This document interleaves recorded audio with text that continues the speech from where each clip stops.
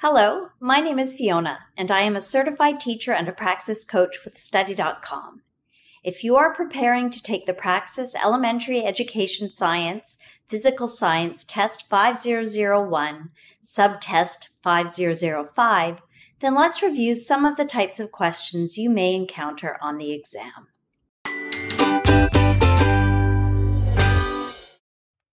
What is an atom?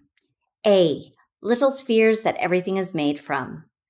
B, the basic unit of a chemical element containing protons and electrons in the center and neutrons orbiting the outside. C, the basic unit of a chemical element containing protons and neutrons in the center and electrons orbiting the outside.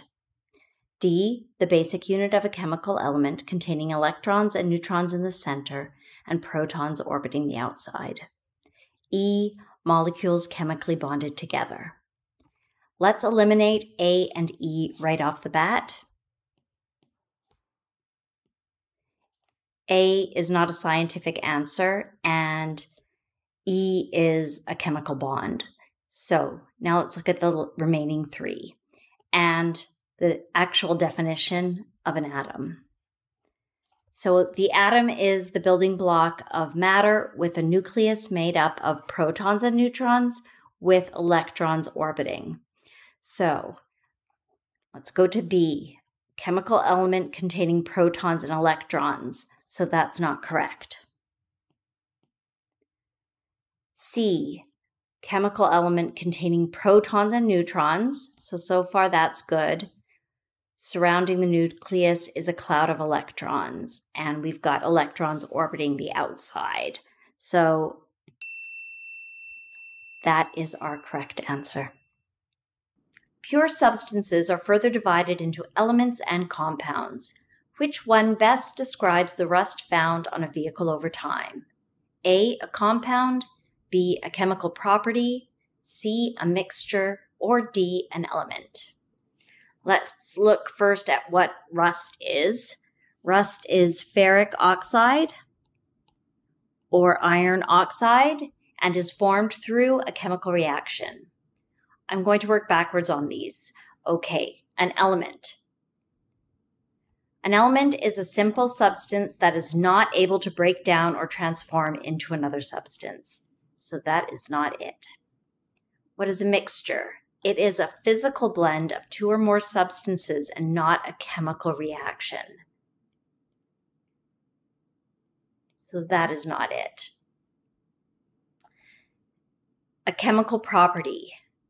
A chemical property is a characteristic related to a chemical reaction, but not the change itself. So that's not it. And a compound. A compound is made over time through a chemical reaction with two or more different elements. So it is indeed a compound. In order to tackle the next problem, I want to explain Newton's second law of motion, which states that acceleration is directly proportional to the net force and inversely proportional to the object's mass. So force is equal to mass times acceleration.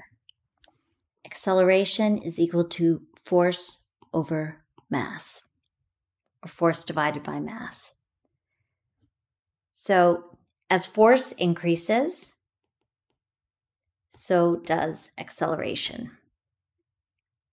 In other words, acceleration is directly proportional to the force, and acceleration will decrease as mass increases. Put another way, acceleration is inversely proportional to the mass. So now let's look at the question and answers.